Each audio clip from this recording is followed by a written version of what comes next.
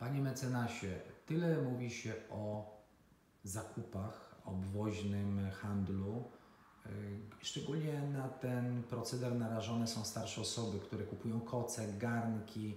Y, Co Pan mógłby powiedzieć tym osobom e, i ich rodzinom? Jak się bronić przed takimi sytuacjami? No osoby, e, grupa docelowa są osoby starsze, e, które, które e, no mają dużo czasu, tak? bo organizacja tych różnych spektaklów teatralnych, tak to można nazwać, i cudownych garków do sprzedaży, czy też cudownych kosy, odbywa się w godzinach też dopołudniowych, tak? I nieraz jest nawet tak, że dana firma, która się tym profesjonalnie zajmuje, robi takie dwa spektakle teatralne cudownych rzeczy dwa razy y, dziennie.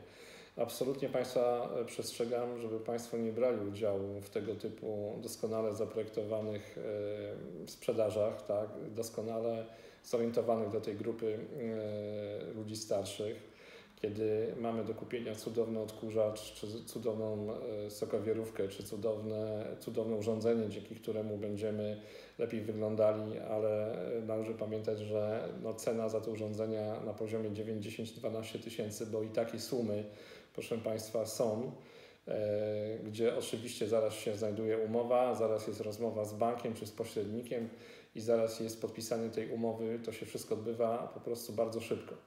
Proszę Państwa, no te praktyki są niedozwolone, one są zabronione, to jest, e, no tak nie powinno funkcjonować e, w obrocie prawnym, to co funkcjonuje i przestrzegam przed takimi mm, e, udziałami i za- i zakupami. Proszę tego nie robić. Dziękuję.